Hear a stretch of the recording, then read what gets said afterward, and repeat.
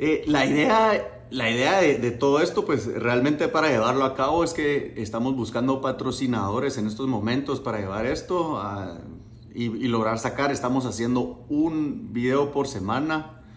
Eh, lo estamos haciendo con las herramientas que tenemos.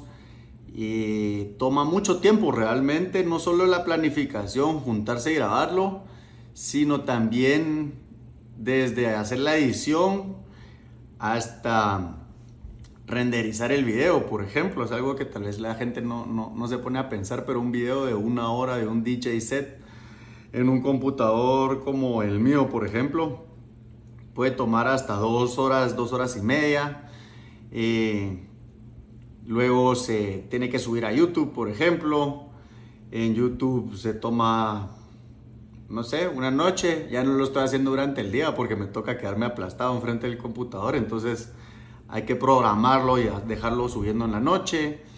Eh, hay un montón de retos también, por ejemplo, nos ha tocado volver a grabar DJ sets porque la plataforma de YouTube los bloquea. No todos los artistas tienen libres sus eh, derechos para que su música se pueda usar en la plataforma y es algo que no se sabe hasta el momento en el que se graba y se invierte esa hora, dos horas, tres horas de trabajo, eh, no solo por parte de nosotros, la parte de producción y entrevistas, sino por la gente, los DJs que vienen, los productores que vienen y nos regalan de su tiempo, ¿verdad? Les toca regresar a ellos también.